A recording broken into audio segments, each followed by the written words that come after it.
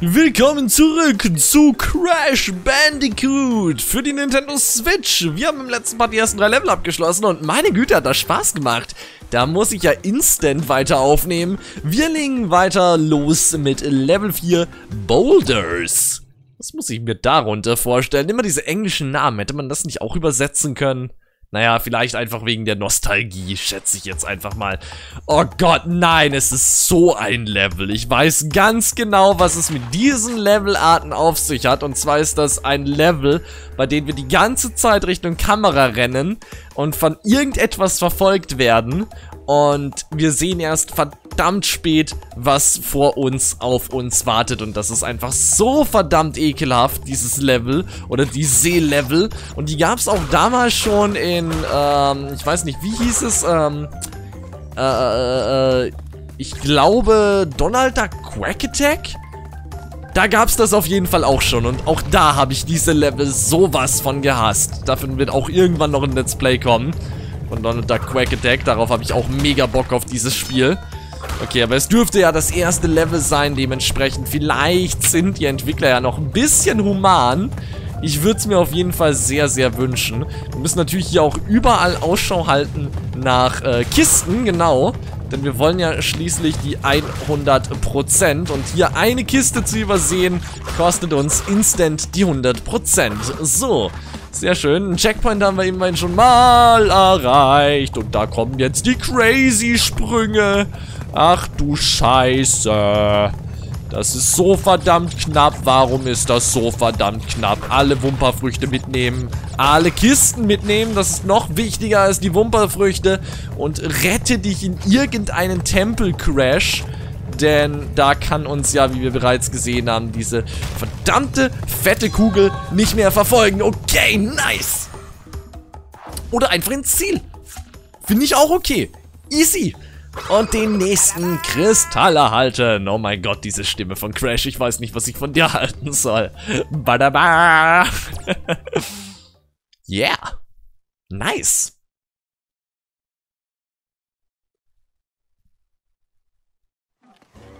Sehr schön. Nächstes Level Instant 100%. Wie geht es weiter? Wie wäre es mit Upstream? Dem nächsten Level Instant. Warum soll ich mir die Overworld lang angucken, nicht wahr? Ist ein Jump'n'Run. Geht's von Level zu Level. Braucht man nicht lang warten. Funktioniert. Oh Gott, was ist das jetzt? Uh, irgendein Wasserlevel. Und ich weiß, Crash Bandicoot kann im ersten Teil nicht schwimmen. Deswegen ist das Wasser bei Instant, äh, ist das Wasser instant tot bei Berührung. Ah, wie ich das wiederfinden soll, ich weiß es auch nicht. Okay, was ist das für ein wild gewordener Piranha? Ja, wir ignorieren ihn einfach mal. Das ist, glaube ich, sowieso das Beste. Wir ignorieren einfach alles, was mit Wasser zu tun hat. Jumpen hier von Seerose zu Re Seerose. Keine Ahnung, ob die untergehen. Das wäre vielleicht auch noch relativ interessant zu wissen. Also, ob ich da lang draufstehen kann oder ob die nach einer Zeit unter... du. Okay, da springt einfach der Fisch raus. Crazy. Okay, ich habe auch keine Ahnung, ob ich die töten kann, die Fische. So, hier haben wir jetzt zum Beispiel einmal ein Extra-Leben, das ich mitnehmen möchte. Und dann aktivieren wir das TNT. Und dann muss ich schnell weg da, denn das TNT äh, fast hätte mich sonst getötet, glaube ich, an dieser Position. Außerdem, ganz wichtig zu erwähnen ist vielleicht auch noch, dass die TNT-Fässer zu den Fässern am Ende des Levels dazugehören.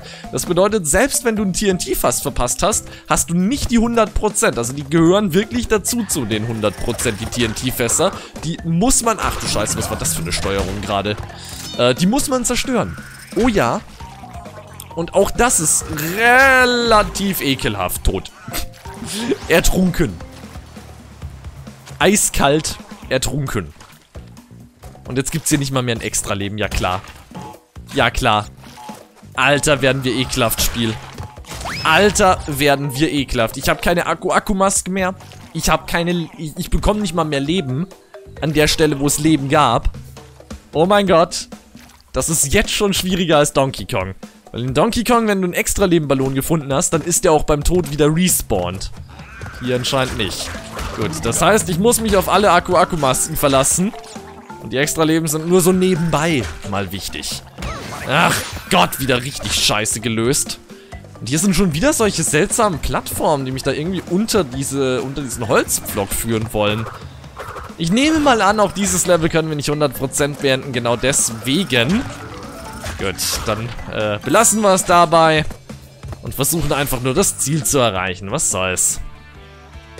Aber das Bonuslevel nehme ich natürlich mit. Lass ich mir nicht zweimal sagen. So, läuft. Alle Kisten zerstören. Aber vorsichtig, nicht zweimal in irgendein Loch reinfallen, denn ansonsten ist man tot. Aber die Steuerung ist schon echt merkwürdig in diesem Spiel. Naja, am Ende dieses Bonuslevels gibt es immerhin zwei Extra-Leben wieder. Sehr schön. Das nehme ich dankend an. Jedes Extra-Leben rettet mir das Leben. So. Na dann. Ich muss auf jeden Fall gestehen, Crash steuert sich echt schwammig. Also die Steuerung hätte ich mir beim Zusehen echt viel besser vorgestellt. Allein für so ein Remake von so einem Spiel, aber... Ja gut, ist wahrscheinlich auch wegen der Nostalgie so gelöst worden. Gut, äh, wieder mal nicht 100%. Schade, schade. Drei Kisten. Ekelhaft. Ekelhaft. Aber gut, hat wahrscheinlich was mit diesen Plattformen auf sich, die wir gesehen haben in Richtung Wasserfall. Irgendwann werde ich auch dieses Rätsel lösen können. Ganz bestimmt.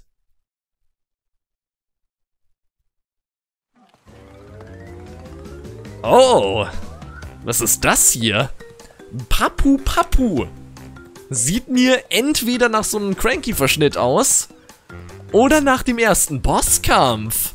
Interessant, die Insel, Wanderschaft ist aber noch nicht vorbei. Das geht noch ein Stück, bis wir die abgeschlossen haben. Gut, äh, ich weiß nicht, was es ist, deswegen einfach mal bestenfalls das machen, was man sonst immer macht. Speichern. Sehr schön.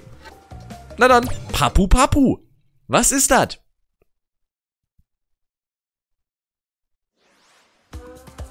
Oh ja, das sieht mir nach ersten Boss aus. Das sieht mir so hart nach ersten Boss aus. Okay, moin moin. Wie geht's? Okay, du scheinst drauf zu hauen und dann kann ich dir auf deinen Kopf springen. Okay, Prinzip verstanden. Oh mein Gott, er dreht sich. Okay, er dreht sich, nachdem er dann zugeschlagen hat. Das bedeutet, dann darf ich mich bestenfalls natürlich auch nicht treffen lassen. Ey, ich habe keine Akku-Akku-Maske. Das ist ekelhaft. Warum habe ich keine Akku-Akku-Maske? Egal, der ist gleich tot. Der ist gleich tot und sein Hintern guckt raus. Aus seinem seltsamen Blattrock. Yeah. The fuck? Was war das für ein schlechter Boss?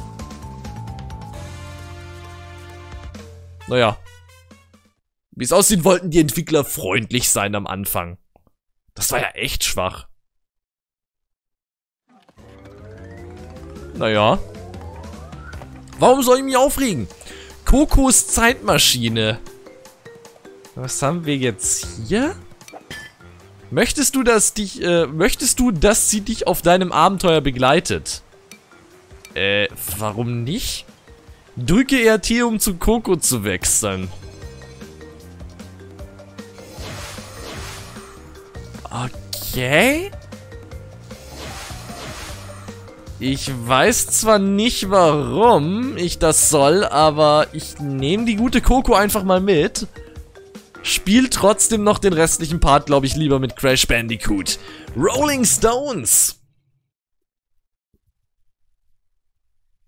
Also da natürlich auch gerne aufklären, was es damit auf sich hat. Genauso wie was es mit diesen seltsamen Plattformen da auf sich hat. Und ab wann ich in diesem Level die 100% holen kann. Falls ihr das wisst, äh, würde mir das doch sehr, sehr helfen. Weil ansonsten muss ich selbst danach googeln und naja, so haben wir wieder ein bisschen Community-Interaktion hier in diesem Projekt mit drinnen. Gut. Aquaku-Maske direkt zum Start. Passt, sitzt, wackelt und hat Luft. Ich liebe es, wenn es Aquaku-Masken gibt. Das äh, freut mich immer ungemein. Und anscheinend haben wir jetzt hier wieder so ein typisches äh, Level mit diesen seltsamen, ähm, ja, wie heißt mit diesen seltsamen rollenden, ja, Rolling Stones, ne? Ultra. Aufpassen. Levelnamen, ne? Es, es, ist halt genau das. Es ist genau der Levelname. Scheiße, da habe ich gerade einen One-Up gekillt, aus Versehen. Aber gut, äh, Kisten zählen als tot. Also, was soll's, ne? So, da habe ich auch wunderschön instant die falsche Kiste aktiviert. Ich glaube, auch da hätte es ein extra Leben in der Mitte gegeben. Das, naja, egal. Letzten Endes sind die Kisten kaputt. Genau das... Ey, da ist eine Plattform. Die habe ich nicht gesehen. Oh, diese Kamera. Ich weiß, dass sie mich so aufregen wird in späteren Leveln. Einfach, weil ich die Hälfte nicht sehe. Aber gut. Crash Bandicoot. Eieieiei. Und auch jetzt hier bei den Rolling Stones finde ich verdammt ekelhaft, die Kamera. Denn immer wenn die Rolling Stones gerade vor mir sind, kann ich, oder wenn die Rolling Stones gerade die Kamera verdecken, kann ich meinen Sprung schlecht abschätzen. Das bedeutet, ich muss entweder meinen Sprung schon instant richtig geplant haben, oder ja, es äh, läuft nicht allzu gut. Gut, der Unsterblichkeitsbonus kommt mir hier relativ gelegen, wollte ich sagen, und dann äh, aktiviere ich hier aus Versehen ein Bonuslevel. Ah, blöd. Naja gut, dann äh, kümmern wir uns erstmal um das Bonuslevel, damit das gelingt auf die 100%. Vielleicht können wir dieses Level ja wieder instant auf 100% abschließen. Ich würde mich auf jeden Fall sehr, sehr freuen, wenn das äh, klappt, denn 100% sind immer was Nices. Das extra Leben nehme ich natürlich auch dankend an. Sehr schön. Hier noch ein paar Wumperfrüchte mitnehmen. Und alle Kisten zerstört. Raus hier. 87 Kisten gibt es. Da können wir ja eigentlich auch schon mal das Pause-Menü auschecken. Aber hier kann man nicht sehen, wie viele Kisten es pro Level gibt. Gibt es irgendeine Taste, die ich drücken kann, um das zu sehen? Tatsächlich, der X-Knopf. Mit dem X-Knopf kann ich dieses Menü hier aufrufen und dann sehe ich, wie viele Kisten mir für die 100% noch fehlen. Okay, das ist recht hilfreich. Das ist echt hilfreich, das äh, zu wissen. Finde ich sehr, sehr schön. Was ist das jetzt hier? Äh. Also entweder muss ich jetzt zurückgehen um dieses Bonuslevel zu spielen. Oder ich habe die 100% schon verkackt. Und ich glaube, ich habe die 100% schon verkackt. Hä? Wo waren denn jetzt noch zwei von diesen scheiß, weiß ich nicht, Gesichtern? Ah. Echt keine Ahnung, du. Also wirklich nicht. Also entweder fehlt mir hier wirklich noch etwas. Oder ich kann hier die 100% schon holen. Nur ich war einfach blind. Kann beides sein. Ich weiß es nicht. Äh, ekelhaft. Auch da, wenn ich ein Level beende, könnt ihr mir gerne in die Kommentare schreiben, ob das schon möglich gewesen wäre auf 100% oder ob äh, ich da erstmal, ja, wie sagt man, noch ein bisschen was finden muss, um hier die 100% in den Level abzuschließen. Hog Wild! Einfach nur, damit ich dann Bescheid weiß. Wir sammeln natürlich die 100% im Let's Play. Das bedeutet, wenn ich die 100% nicht instant bekommen habe, dann, äh, ja, spielen wir das Level irgendwann im Let's Play nochmal und versuchen dann die 100% zu bekommen. So, was haben wir denn jetzt hier für ein crazy Level? Wildschwein-Level, bei dem ich anscheinend das Wildschwein einerseits reite, andererseits auch steuere. Also das bewegt sich nicht von selbst. Ich muss ja nach rechts, links drücken und muss äh, den B-Knopf zum Springen benutzen. Okay, äußerst interessant. Oh, ja. Lohnt es sich, über die drüber zu springen? Nein. Okay, das heißt, ich muss diesen wahnsinnigen Typen ausweichen und aus dem Weg gehen. Ansonsten töten die mich. Interessant. Gut, dann gehen wir jetzt hier auf die Seite rüber. Also, soweit ich das gerade gecheckt habe mit diesen äh, bewegenden Typen, immer auf die Seite gehen, ja. Immer auf die Seite gehen, auf der sie starten. Also, wenn die in den Bildschirm kommen, immer auf die Seite, auf der sie losgegangen sind. Das wäre in der... Se ja, okay, hier ist es relativ egal. Hier habe ich immer den, die Richtung geschafft. So, hier dann die Richtung. Ja, ist ein bisschen auswendig lernen, das Level. Ist so ein bisschen Lorn-Level. Oh Gott. Aber ich möchte natürlich auch alle Kisten, weil, naja, wer weiß. Vielleicht. Nicht wahr? Oh, ist das ekelhaft. Autsch, das muss wehgetan haben. Voll gegen die Stacheln. Alter. Okay, das Level ist wirklich nicht einfach. Also hier Leben verlieren ist, glaube ich, voll in Ordnung. Ich glaube, das passiert wirklich jedem. Aber was mache ich gegen den Freak? Vor allen Dingen, ich muss ja die Kiste bekommen, die vor ihm steht. Ja, Wiedersehen, Leben. Ne? Arrivederci. Ach du Scheiße. Okay, wenn das das Schwierigste bleibt... Ey, ich weiß nicht, was ich an der Stelle machen soll. Ich weiß es nicht. Aber es gibt bestimmt noch mehr von diesen Reitleveln. Und ich finde das erste davon jetzt einfach schon richtig ekelhaft. Ja, ja, ja, nein! Da muss man auch noch drauf springen, ja, ist klar. Natürlich. Konnte ich riechen. Okay, hier komme ich ganz rechts vorbei. Hier komme ich auch, äh, ganz links. Upsi. Links-Rechts-Schwäche mal wieder. Äh, und hier? Nein. Wie das hier funktioniert, keine Ahnung. Also entweder mit einem gut gezielten Sprung über den drüber. Ansonsten keine Ahnung. Das ist ja mal... I. Ich glaube, ich muss eher an der rechten Seite vorbei. Ja. Definitiv rechts. Nein! Nein! Ich Vollpfosten! Gut, dass man über die Checkpoint-Kisten äh, nicht fester drüber springen kann. Gut, dann die wunderschöne Stelle nochmal. Sie hat ja so viel Spaß gemacht, nicht wahr? Okay, aber jetzt habe ich es gecheckt. Jetzt habe ich gecheckt, wie es funktioniert. Jetzt muss es halt nur irgendwann mal klappen. Alter, wie viel Leben habe ich jetzt hier schon verloren? 16? Nee. Warte mal, ich hatte 23, also 8 Stück oder so bestimmt schon. An dieser Stelle. Wieso? Wieso ist diese Stelle so... Ich bin gesprungen! okay. Ich nehme alles zurück, dass Crash Bandicoot bis hierhin einfach war. Okay. Ich merke, die Schwierigkeit nimmt zu. Ich merke, ich sollte mich mehr konzentrieren. Ich merke, ich sollte vielleicht nicht um 2 Uhr morgens aufnehmen. Vor allen Dingen nicht Crash Bandicoot. Wieso schaffe ich es nicht, diese Scheißkiste vor dem Checkpoint zu zerstören? Es kann nicht wahr sein. Ja. So viel dazu. Jetzt war mein Gehirn komplett AFK, läuft. 15 Leben. Das hätte man viel, viel schneller viel, viel besser abschließen können, dieses Level. Aber nein, wie viele Kisten gibt es? 24. Äh. Was noch was viel Besseres als 24? 25! Aber die Zahl geht nicht hoch, sie geht runter. Das ist das Problem. Von den Extra-Leben. So, du, du und vorbei. Perfekt. Du, du, drüber. Easy. Wo war die Schwierigkeit? 14. Da muss ich die Seite wechseln. Ja, es ist, ist Try and Error. Es ist Try and Error. Ich kann nicht viel machen. Ich muss hier wirklich ausprobieren, was das Spiel genau von mir will. Ja, okay. Was zum Teufel? Da haben sie ein Wildschwein gebraten. Da ebenfalls. Da dürfte man jetzt diesmal aber nicht springen.